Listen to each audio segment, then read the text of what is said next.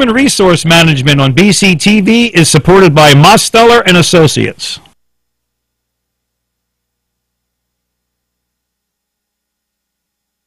We're saying good morning this month. It's uh, uh, May 12th, and uh, we're recording this BCTV program for May, uh, and uh, it's now uh, our 89th show. We're into our 14th year.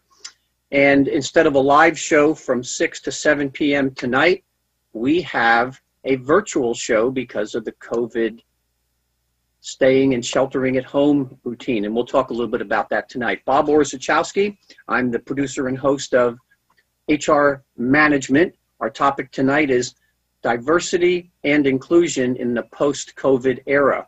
People are talking about going back to work, and uh, uh, that's going to be a real challenge. And D&I was a challenge enough without that. Uh, with me today on our panel, we have Denise Lee.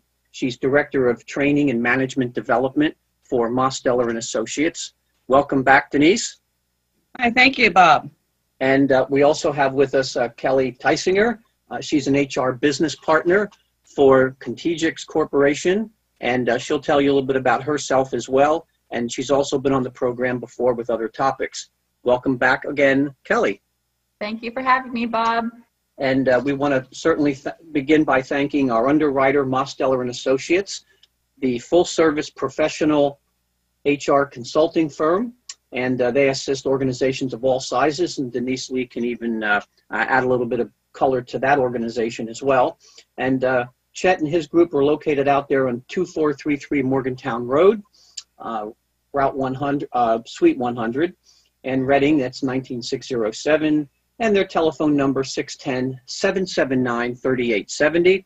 And their information will be shown at the bottom of the program, as will the uh, SHRM chapter, under whose auspices we bring you this program. A uh, little bit of disclaimer here. Nothing here is meant to be legal advice, and the opinions of the panelists are their own and not necessarily those of the employers or of BCTV. Speaking of BCTV, uh, their mission uh, to enhance the unity and strength of our community by providing this medium for dialogue, serve as an information source, and forum for idea exchange.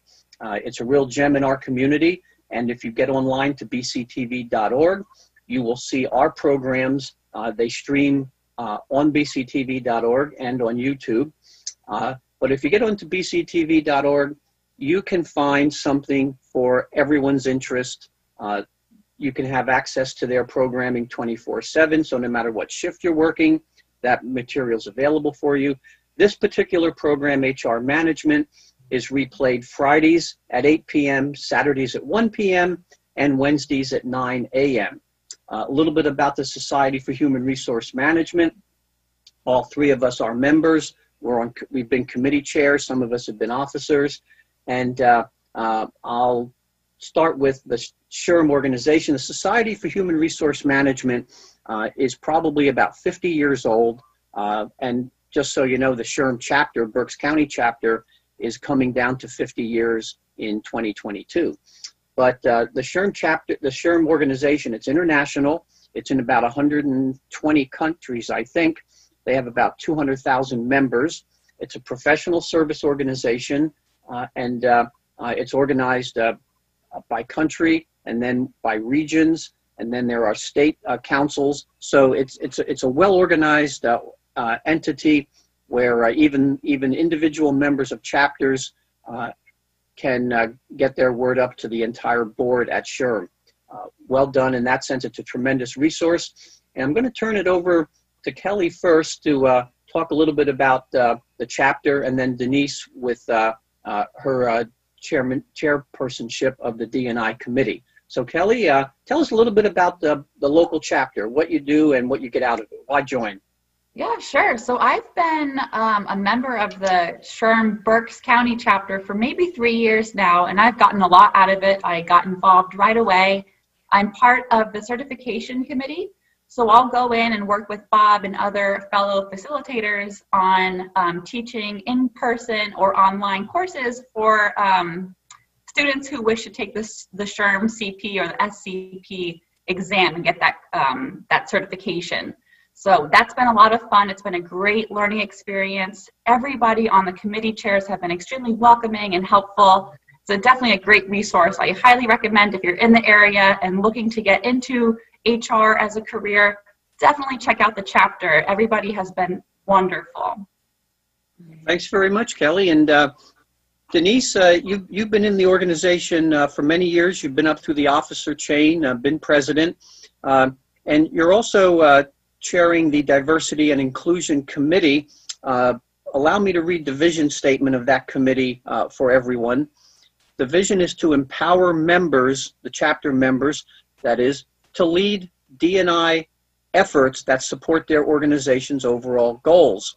Uh, the mission statement, uh, a bit longer, but it comes down to serving as a resource for Berks County SHRM chapter and uh, community organizations.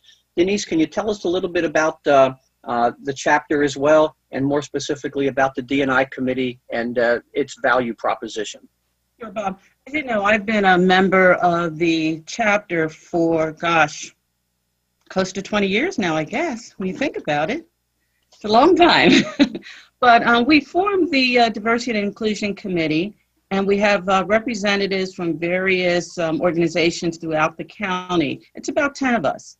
And one of the things that we decided when we sat down and wrote that mission and, and that um, is that we really wanted to figure out how we could not just serve our membership, but also how we can serve the community.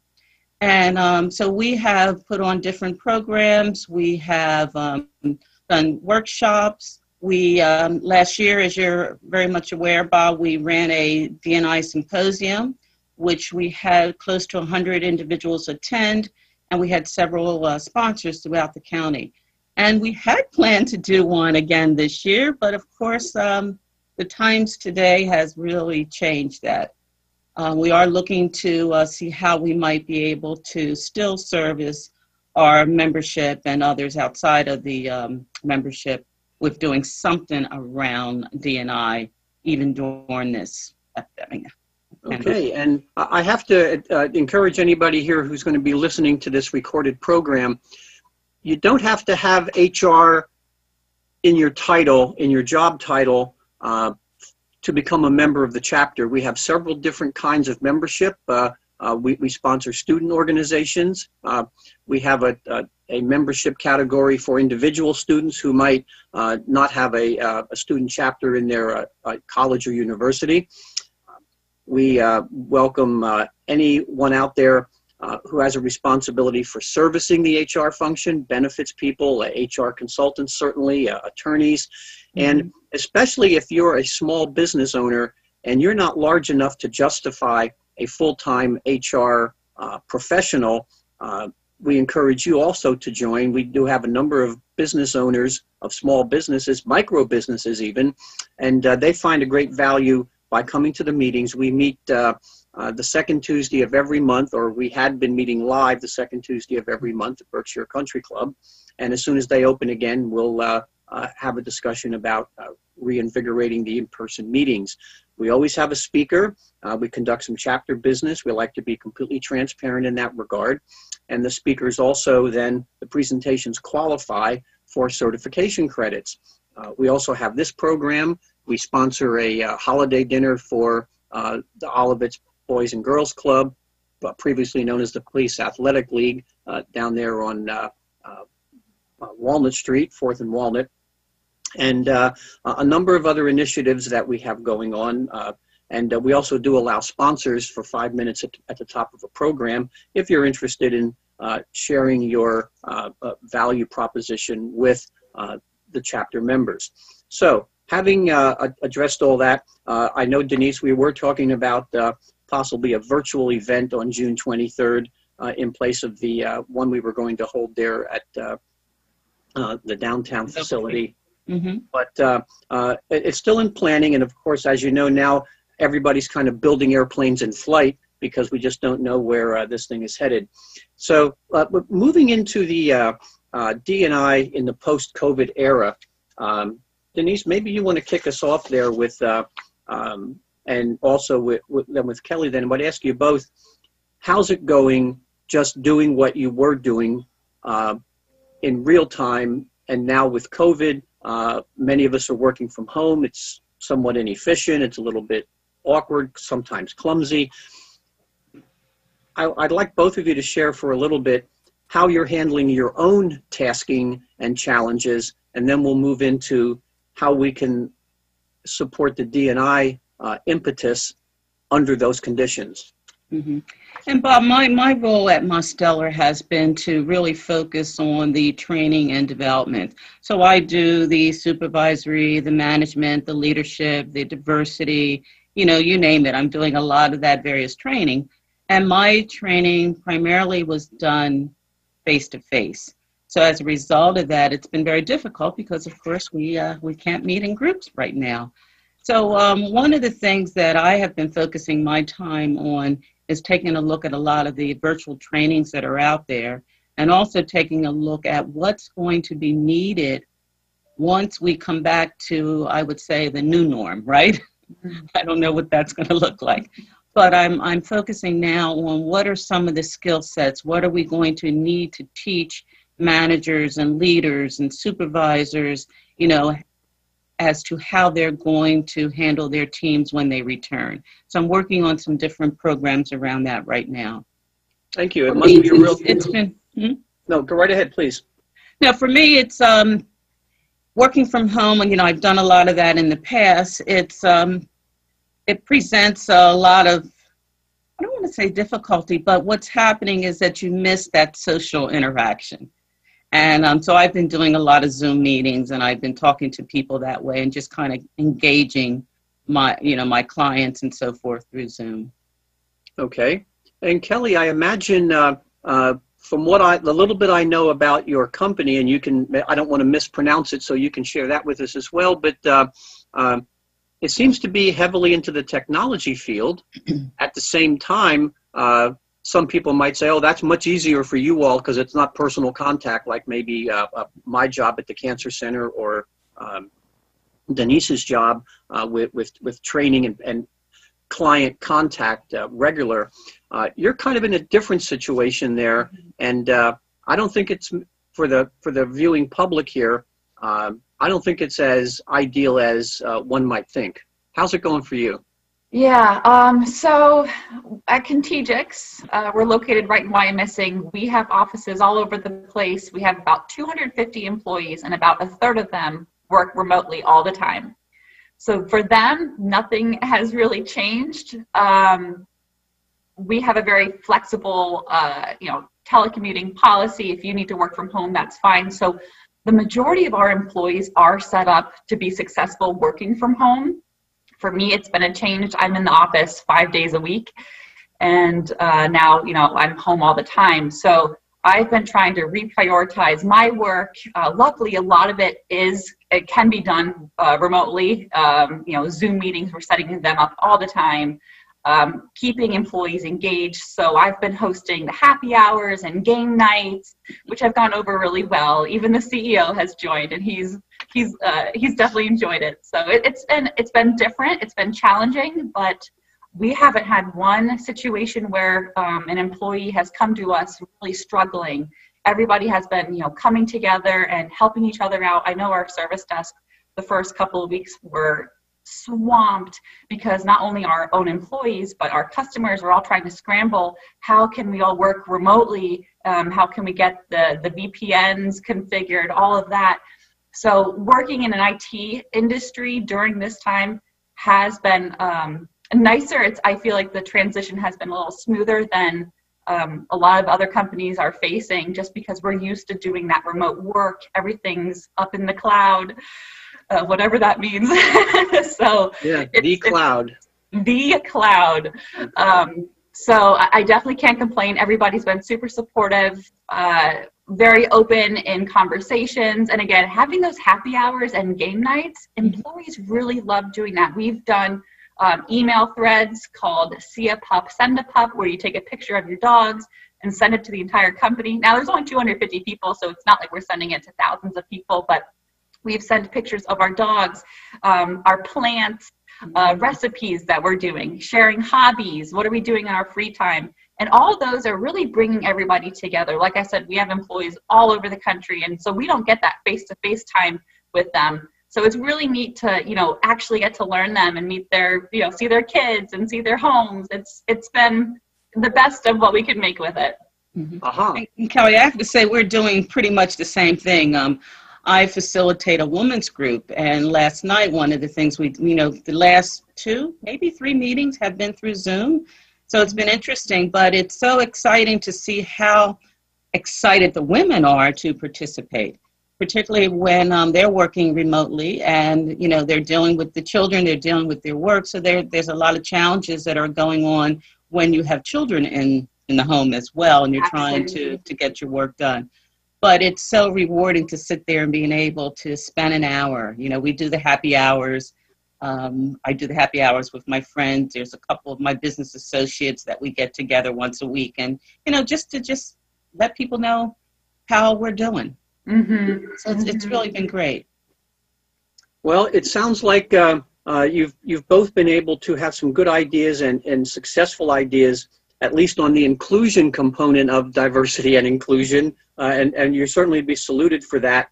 And uh, if anybody out there uh, who who uh, is is going to be uh, viewing this video, um, I'm sure uh, uh, you're you're you're going to see how to reach us uh, at the end of the program uh, with the the SHRM chapter itself. Um, we're at uh, uh, www.berkspa.shrm, S-H-R-M, that is, .org.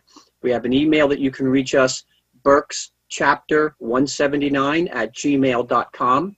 And uh, that information will be available at the bottom of the program as well. So mo- moving into some of the meat then, we've, we've uh, obviously we're all wrestling with uh, the, the, the COVID issues.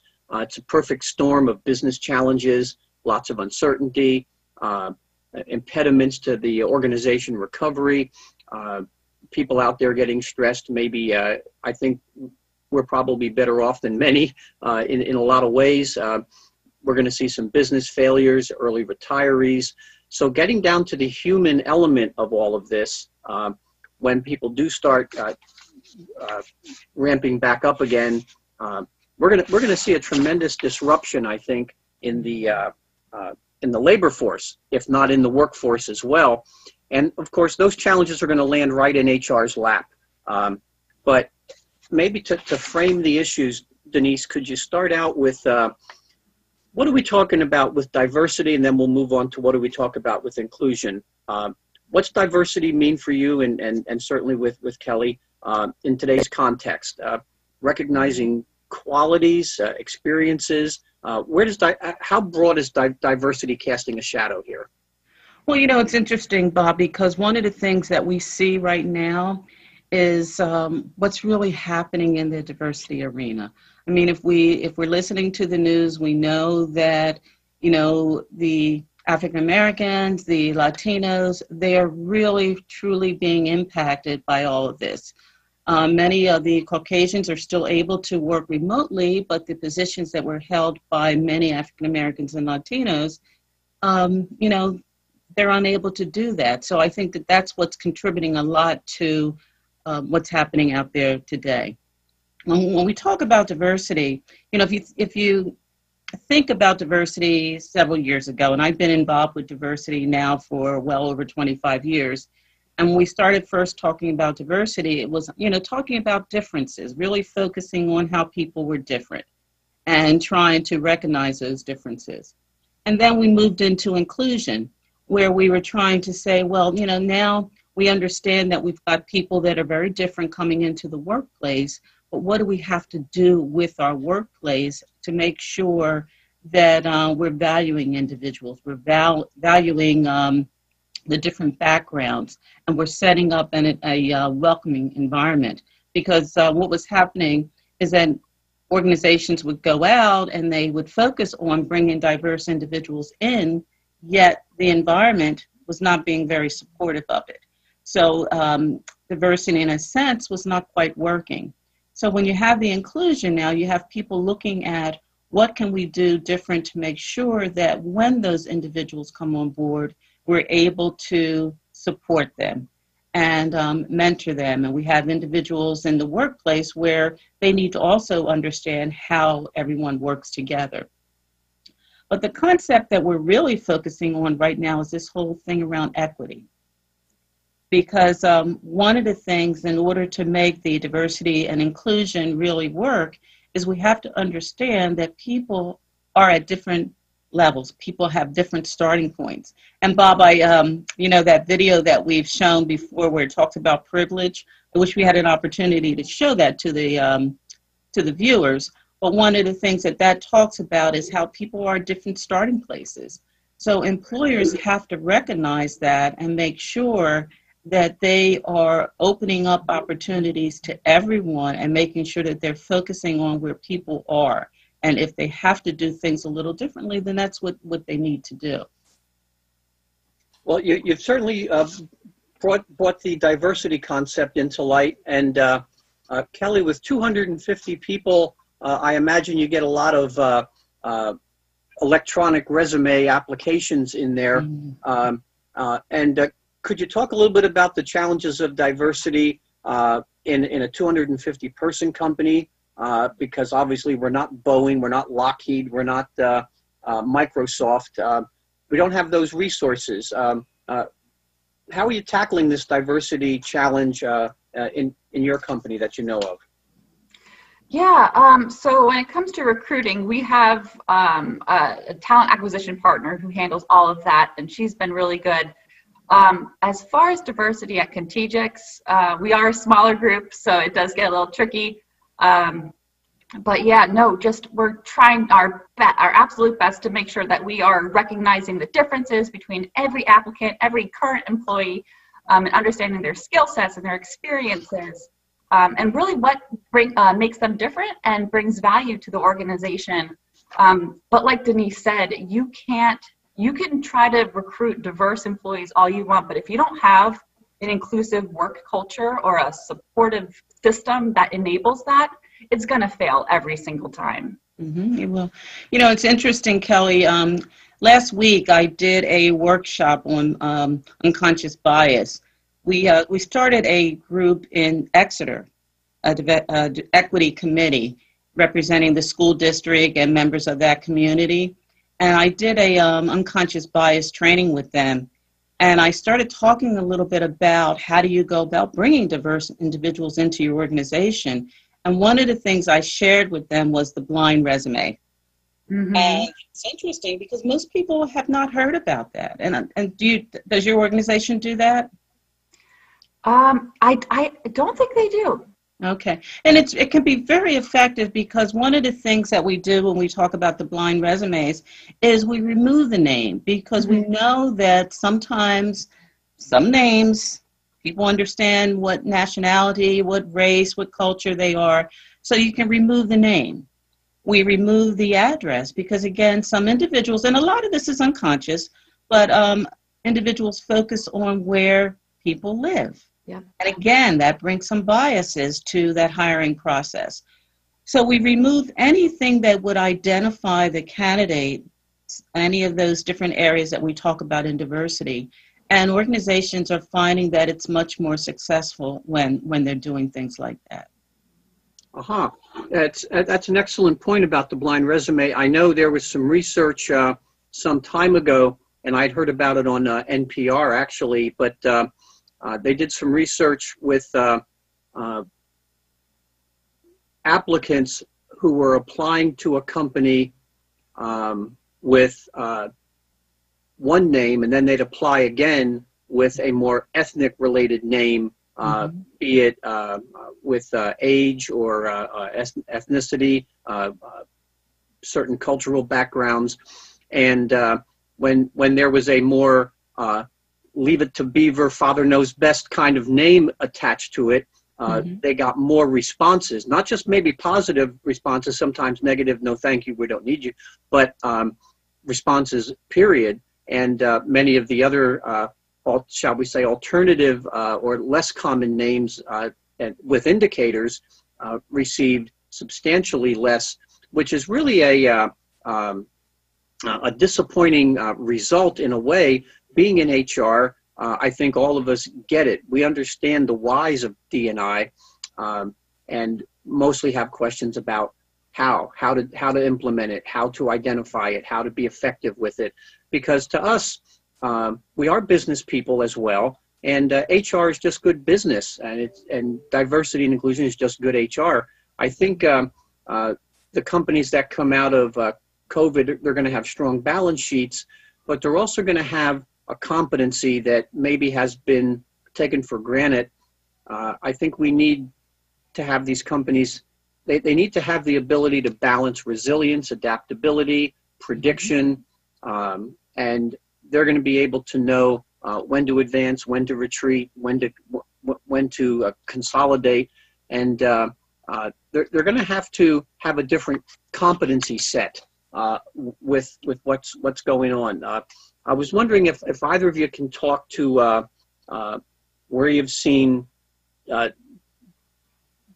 diversity successful. What do you think uh, uh, makes it makes it it's a, a successful effort, and uh, maybe some of the things like voluntary, proactive, those kind of things, as opposed to sitting back and hoping somebody um, applies that you can count and you can put another check mark in another box kind of a thing. Mhm. Well, But what I can say is that I know that those companies that are being more successful are actually going where the individuals are and not just waiting for them to come to them. But there's also something that organizations have to do before they even do that. One thing about individuals that are of um, diverse backgrounds, you know, they're looking at your website, they're looking at information to see just, you know, how diverse the company is. Is this a company that I want to work for? Is this a company that's going to be supportive? You know, what kind of trainings do they have in place? Um, what am I going to run into when I arrive at that company? So the um, one of the things that I've always suggested to the organizations is take a look at your website and make sure that your web- website is welcoming because if it's not, it's it's going to be a struggle even before you get started. So that is something that's absolutely critical. Okay, and and so Kelly, I guess as soon as this this recording is over, you're going to jump on your website and uh, take another look at it. I know I will. I, I think, well, I'll definitely take a look at it. I think we're in pretty good shape, but there's always room for improvement for everybody. But yes, uh, piggybacking off of what both of you said, uh, diversity and inclusion is more than an HR program. It should be a strategy for the entire business. It should be built into their mission statement and their values. So going back and making sure that um, you're reaching out to more diverse channels with recruiting, uh, making sure that your website is up to date um, and has that you know inclusive those inclusive properties in it. It, it goes such a long way in, in retaining and, and keeping and retaining the, that uh, very diverse, excellent uh, talent pool. And, Right. and You know, and Bob, if I could add one more thing to that, you know, just listing um, your diversity statement on your website could be very attractive to some individuals. Maybe Mhm. you're not quite there, but what's what's your plan? What's your plan? How are you going to get there? hmm It has to be more than just writing equal employment opportunity. It has to, you know, t- okay, what's okay? Yes, everybody says that, but what what else are we providing? What else can what we kind of- prove? Right. And what kind of pictures are on your, your Yeah. website? You know, what are you showing? You know? You know, we're we're going to have uh, uh, a real HR challenge here. It's going to be a perfect storm to to certainly uh, uh, right sizing. Uh, we're talking about uh, uh, 15 to 20 percent unemployment. Um, Mhm. And as we climb out of this, um, and we can get into the medical aspects of COVID, which in another conversation, but um, uh, there are going to be companies that uh, um, they're they're focusing on uh, continued layoffs, furloughs, bringing people back uh, in dribs and drabs, um, maybe having a retrenchment piece for a while, uh, um, and um, the, the most effective way to prepare for those kinds of situations is to simply strengthen the way the business operates. And we're right back to uh, uh, the uh, uh DNI again. And uh, there's kind of like four levels uh, in the in, in the in the hierarchy of all of this. And certainly the level number one is right within the company. Level two is the customer base. Level three is getting and keeping employees, which is still going to be a challenge. People forget that um, we had 3% unemployment uh, everybody was working, but just in different skill sets. So I think that the, the DNI uh, initiative for any company now is going to have to consider uh, some very robust training programs as well. And I think that's going to become a competitive advantage for companies in recruiting people um, that, uh, hey, we, we know you're smart and we have competencies and we have to revise our job descriptions. Um, uh, to um, uh, really focus on essential functions and skills, not just, oh, you need a high school education and 14 years of experience doing it. I think that's mm-hmm. out the window now. Mm-hmm. And uh, if we focus on competencies uh, and skill sets, once we know them, and Denise is a, as a director of training and development, um, you'll know how to advise the company to tool themselves to bring people in that might not know 70% of the job, but they're smart enough to learn it with some training over uh, some period of time. Um, mm-hmm. We know that the le- that the playing field is not level uh, for the examples we gave, um, mm-hmm. and we might not we might not have all the metrics that show progression or not. But uh, when you're looking at the di- uh, at the diversity concept, keep in mind too we're talking about um, veterans. We're talking about uh, active and reserve military. I know a practice manager that was in the Navy in, in health fields and got uh, redeployed again in all the midst of all this. Um, religious accommodations, the as you said, the LGBTQs, and uh, the disabled. Uh, and the disabled are going to be a particular challenge because uh, I think in, in their own right, uh, with um, uh, with the ADA, generally employers are prohibited from making disability related inquiries. Um, and uh, I know that there's an exception for job accommodation now. There's an exception for job performance and, a, and an exception for direct threat uh, for contamination. And so HR uh, has all these uh, moving parts, if you will. Um, to what extent is top leadership in the company, how, how, how should they manifest uh, this, and then we'll talk about DNI training for everybody in the company later. But what, what's the hierarchy here? HR is the drum beater. Um, they have to get the top management support first. How do they do that? You know, it's very, di- whenever I talk about diversity and inclusion, one of the things I always say to whether it's an HR uh, director, manager, is that they have to have a seat at the table. Mm-hmm. And the leadership has to be involved. If you don't have support from the top, it's it's going to be very very difficult. It's going to be a battle all along the way. So you really have to figure out how you get leadership involved.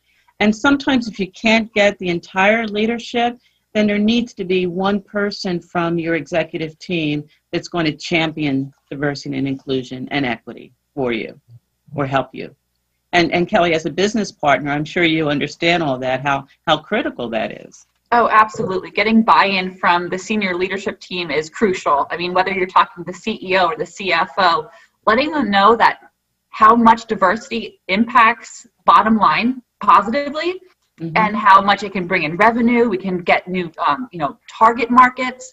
Um, all of that, it, it all comes down to diversity and getting that buy-in from um, executives. Absolutely. Mm-hmm.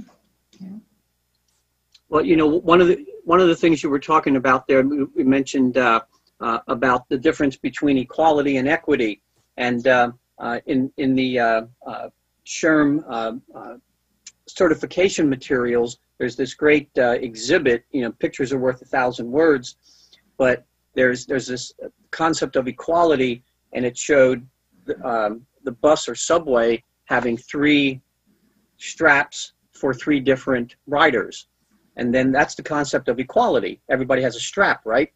And then uh, the, the same the same picture with equity as the explanation is that all three riders are different heights. So the tallest rider can reach his strap or her strap without any issue, but the other two are progressively shorter and can't reach their strap.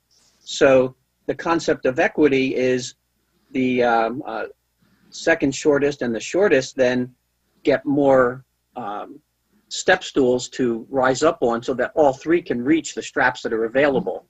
Uh, and I know, Denise, one of the uh, things I learned from you about uh, uh, the definitions was diversity is being invited to the dance and inclusion's being asked to dance is a great, Absolutely. great I, example. I love that. Uh, me too. That's why I wanted to use it again here.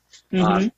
And um, so I, I think if we're looking at improved creativity and, and innovation, uh, those are certainly benefits of hiring a diverse workforce. I know when I was in high tech, uh, uh, we never liked employing um, more than a couple of graduates from any uh, college at any one time because we wanted to di- we wanted them to to bring diverse ways of learning and and how they learn to solve problems uh, in that sense as well. Um, with uh, with with the disabled, do you see um, is is that generally considered uh, a, a diversity and inclusion challenge, or is is that more uh, in a in a different HR camp? I, if I can answer that, Bob, I think it de- definitely is part of diversity because you have, um, trying to see if I have my statistic here. Disabilities affect 20% of all Americans. And this was done back in 2017. So I would imagine that that number is much greater now. So diversity um, in hiring of the disabled, I think, is something that we have to focus on. And there's so many great programs out there now where the different organizations will work with the employers. They actually send coaches in to uh, train the individuals on whatever that work job is. So there's a there's a lot of things that organizations are doing to help companies meet their obligations around hiring individuals with disability. Yeah, the um, uh, there there are so many moving parts to this, and uh, again, HR is going to be uh, uh, right on the front lines. When we talked about uh, the people in the healthcare industry right now being the new heroes, they're in the front lines of, of the Mhm. caregiving, um, and uh, even more so, I think HR is going to take a, a prominent role uh, as we start coming out of this and businesses start up again. Uh, we're going to need people. Uh, not everybody who's been laid off or furloughed is going to be able to come back for one valid reason or another. Mhm. Uh, and uh, uh, even with or without a vaccine, which who knows when they're going to happen. But uh, HR is going to be, the, I think, one of the new business heroes because who's going to do this stuff if not us? Mhm. Uh, You know, and Bob, this is a great time for individuals to come together and really start talking about their plan. What are we going to do? How are we going to, you know, make sure that we do have this inclusive environment? What are we doing around that whole equity situation, making sure that we're bringing in the individuals and they're going to be supported? Well, uh, Kelly, I was wondering uh, uh, if, if people are out there, they're listening to this, they're buying into it. Uh, anybody in business, for the most part, and especially HR people, we get the why. Why should you be doing this? Um, uh, what, what are some of the hallmarks of of a of, of a successful program as opposed to, and we'll talk about then uh, what kind of uh, focus or what kind of tack to take maybe isn't going to ensure success. But what, what kind of things should should they be looking at to to ensure some uh, success factors in D&I? Yeah, so I would say remaining consistent. If you don't have uh, a solidified program, that's okay. Not not every company does.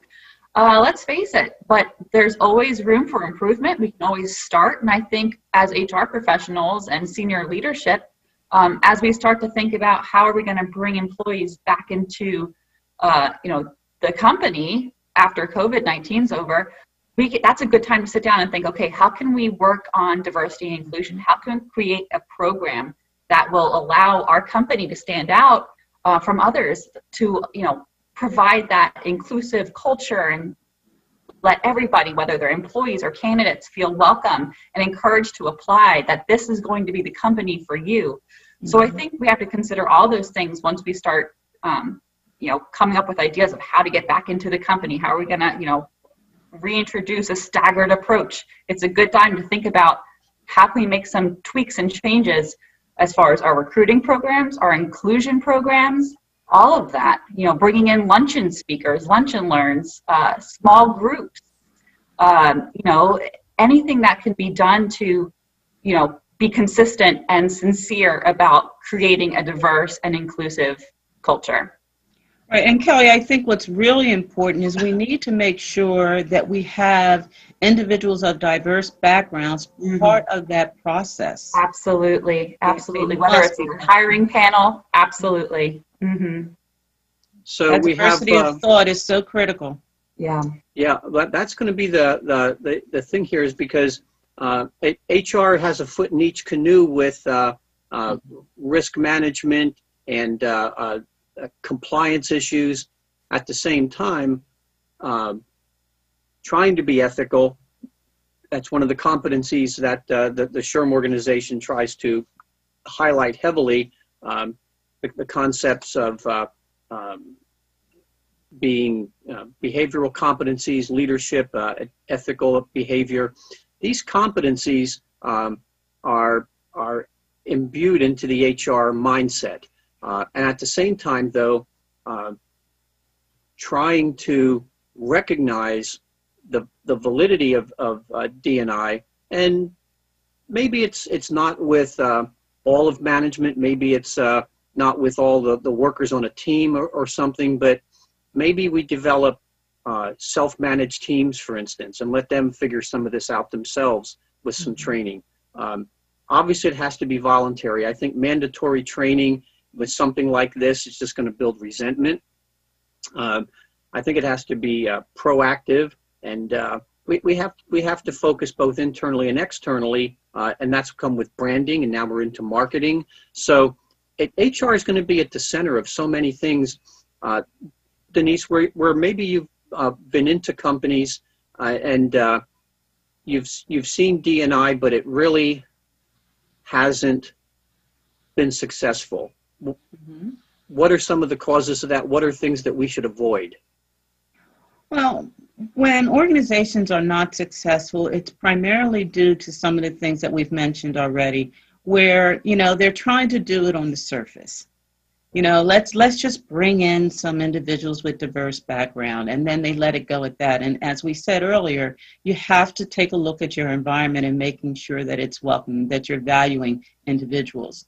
So um, unless people really focus on what makes an organization successful around DNI, then there's really no point because you're going to be spinning your wheels and then people get frustrated. You bring someone in and they don't stay. You bring someone in and they don't stay. So it, it makes it very easy for other individuals in the organization to say, well, why are we why are we doing this? So I think again it starts with that commitment from the top of the house. And I think you have to have a really good plan in place. One of the things that makes it successful is um, having the employee resource groups. I was working with an organization just recently, and I uh, was really pleased to see that they had actually thought about, hey, let's let's do an employee resource group. And they were talking to me, do we need to have different resource group for every different group of individuals? And I said, you have to do what's best for you. Small companies, you're probably going to bring everyone in together. You know, so it's um, it's interesting. You just have to look for the right opportunity to make things work in your organization. Every organization is different. Okay, that, that is true. I mean, we're, we're looking at a marathon here, not a sprint. Um, and I think uh, uh, obviously executive commitment, uh, at, as you said, uh, um, and people need to take their temperature first. Uh, what some kind of preliminary assessments uh, of uh, where they stand and what they stand for. Uh, in that sense, um, is there an infrastructure that fosters DNI? Are there policies other than just the obligatory annual 15-minute training on uh, anti-discrimination and anti-harassment? Uh, it needs to go beyond that. Mhm. I identify, just like when you do a security risk analysis uh, in the IT field, uh, you need to know how far you are from the desired standard before you can begin any interventions. Um, you know, we're talking about the um, uh, disabled uh, pop work, workforce population out there. Um, one of the stats I read uh, was 40% of Pennsylvania disabled persons are in their working years. 40%. Uh, that's from 18 to 65. And uh, if we're, we're, we're talking about having to accommodate them, we're, we're used to making, quote, reasonable accommodations. Um, but now, of course, uh, with, with pre-coat, with uh, the, ex- the exceptions that are going to be out there, it, it, it really does make it a challenge. Uh, we haven't talked about ageism yet, and uh, uh, I guess we're we're considering ageism in there. It always reminds me of that of that movie with was with Robert De Niro where he's an intern, but he's like a retired. He was he was like right sized out at at an advanced age. Um, and it's a great it's a great movie. Of course, it's Hollywood, but. Uh, uh, we haven't talked about ageism, and I'd, I'd like you both to maybe define that for the, for the, for the viewing uh, audience here. Signs of it. 25 uh, percent of the workforce uh, right now uh, is in this capacity over, we'll say, over age 60. People are working longer, economics, desire, retired spouse doesn't want them at home, whatever it is.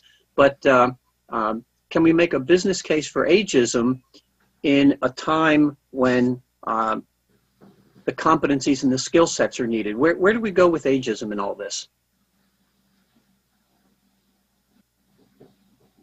That's a good question. Now, Bob, I know you were doing a lot of work around ageism, but um, I think that we, we know that we have what, close to five generations in the workplace right now, and we have to really make sure, again, that we are those individuals that are of that group that will soon be leaving the workplace.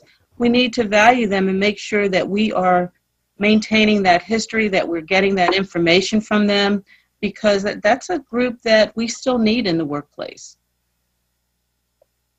And um, uh, Kelly, I think uh, uh, with a with 250 people in, in your company, I don't believe you have 250 separate job descriptions. Can you talk a little bit about maybe having to revisit job descriptions and get away from uh, a massive list of duties that ends in performs other duties as required and shift more to competencies and essential functions and skills and not just basic education and years of experience. Where, where's the value in that kind of an exercise towards a D&I goal? Yeah, sure. So that's a great question. Uh, something that the HR team here at Contegix has been working on consistently uh, so over the last couple of years, we've gone through several mergers and acquisitions. So each time we go back and reevaluate the job descriptions. Are they relevant? Are they fair? Are they consistent? Do they make sense? Do they need to be tweaked with the new company and you know the products and the services? So we're always analyzing what can be improved, what can be updated to make sure that everybody's included, that you know we're not um, segregating anybody out uh, so yeah, that's something that has been on our plate since day one. Okay, and uh, Denise, I know uh, Chet's company does does a lot with compensation and benefits planning as well, uh, employee relations, but they have to they have to also get into uh, uh, showing businesses. There's a different way to have i mean there's no law that requires us to have a job description. There is a law that requires us to know the essential functions of the job. But uh, is, is, is that ever a, a, a major challenge that uh, he's, he's getting asked to come in and, and, and revamp that approach because it seems There's like a lot of organizations out there, Bob, that really don't have job descriptions. So one of the things we do is we try to encourage them to create a job description. And a lot of organizations now are moving away from those tasks. They're moving, they're really focusing more on the competencies of, of individuals. Well, and you know the uh, uh, that's with the SHRM uh, certification program. There are eight competencies that they identify, and uh, mm-hmm. we we hit the students up pretty hard with them uh, with uh, competency cases. so, but I was wondering in the um, uh, in the 12, in the 11 minutes we have left, um, let you all think about summary statements here briefly. Uh, we want to leave five minutes for uh, BCTV to put our uh, uh, boilerplate, our taglines, uh, Chet's organizational information and the, and the chapters. But um, uh, if, if we have a program out there, how do we know it's successful? There, there's, there's never a light switch that comes on and says, oh, you win now. Uh, how do we know that these things are successful? Um, how do we know if they're failing? What, what are some of the indicators, the metrics, the, uh, the phenomena in the companies? Denise, what do you see with that? Well, what, what I believe is that when you have people that are knocking down your door trying to get in there, when you become that employer of the of the year, but um, when you know that employees are making recommendations to their friends, to other individuals out there to join the company, then that that's really a, shows you that you're being successful out there. And when you have um, resumes coming in from different individuals, different backgrounds, you know, again, people are recognizing you on your website. They see what you're doing. They're hearing from employees because, again, your employees are the ones that are probably your marketing the company. Yep. And if your employees don't feel good, why would someone else want to join the company? Mm-hmm. Yeah, Kelly, what do you absolutely. Uh, you know, whether it's an employee or a prospective employee leaving reviews on your website, word of mouth travels quickly, good or bad. So if employees are uh, referring other friends or family to the company, that shows that something that you're doing is working. If you're retaining your employees, something you're doing is working. There, there's a reason that they want to stay. There's a reason why they're recommending the positions or the company or just talking about the, the work that they're doing to friends and family. That those are all signs that something you're doing, you're doing something right. Okay. The uh, we haven't talked about uh, one of the one of the tools. It's a real need, normally handled not very well, uh, and it, we have to lay that at the feet of HR sometimes. Is uh, the performance appraisal process, the Mhm. tools themselves, the formats they use, uh, the, the the the checklistings. Uh, on a scale of one to ten, how would you rate this employee on initiative? Well, you know, the the receptionist. It's kind of hard to do that. Um, kind of a thing because it's just a bad tool. And uh, so, wh- where do you see performance appraisal, um, employment applications, um, those kind of administrative tools that HR has come to historically rely on? What's their role in in uh, ensuring some DNI success? Bob, one of the things that I see that's happening right now is that organizations are looking at their whole performance management process. There are a lot of systems out there now that um, really encourage the manager to communicate more regularly with the employee, and I think that that's what employees want. So um, that old thing of interviewing your, I'm, I'm sorry, of appraising your employees once a year that has not been successful and, it's not really working. So it's got to be that more real on time. Mhm. And it's interesting what some of the systems are doing because they, they can actually take a look at whatever language the manager is using and they can ver- they can check that language and making sure that you know there's no bias built into it and so forth. But what's really critical about performance reviews now is making sure that they're getting real on time feedback about their performance, whether that's you know uh, weekly and they can simply do that on these systems or monthly. But the the once a year performance reviews are really not being as effective as we may have thought. Yeah, Denise, I would completely agree with you. Uh, I know that I'm hearing more and more companies, Contegix included, trying to move away from a structured program where it's more, you know, encouraging that monthly, weekly feedback, that open conversation with managers and employees. And I think employees value that a lot more because, you know, when people think of performance appraisals, they get a little bit nervous. It's the entire year. You don't know how it's going to go.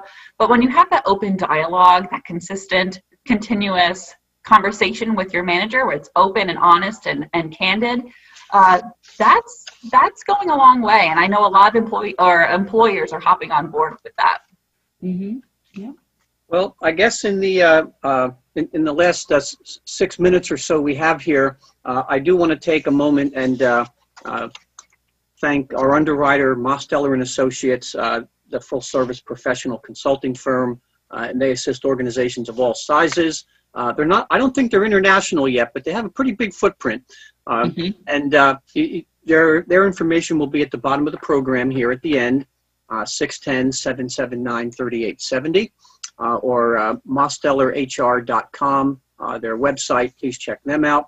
I also want to thank, uh, uh, under the aegis of the uh, Society for Human Resource Management, and specifically Berks County Chapter 179, we're all members of. Their information will be at the bottom of the program as well, in case you want to reach out to us for some some counseling, some advice. Uh, you want to come to a meeting and, and see who we are, that's fine.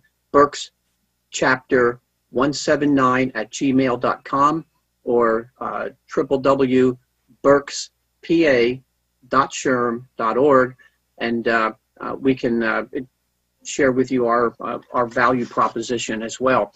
Uh, BCTV, certainly we want to thank those people for bringing these programs to you live or recorded. And um, our next program will be the second Tuesday in July. And uh, hopefully by that point, we'll be able to be in the studio and bring it to you live. Um, and last, certainly, we want to thank uh, our, our panelists today, Denise Lees, Director of Training and Management Development, and probably a bunch of other things that we can't mention. Um, and uh, uh, thank you again, Denise, for being part of the program. Uh, we, we always appreciate your expertise in this topic. It's uh, it's kind of amorphous in a way, but it has very uh, real impact and, and, and great need. And of course, uh, with Kelly Theisinger, uh, our HR business partner from Contegix. Did I say that right? You said it right. Oh, we always worry about that. And, and, and thank you as well for returning to be a panelist on uh, the uh, HR program, uh, HR management program. Uh, and uh, we'll see you all uh, in July. And good luck. Be safe. Great. Thank, Thank you. you, Bob. Thank you. Thank you all. Thank you, Kelly. Bye-bye. Bye now.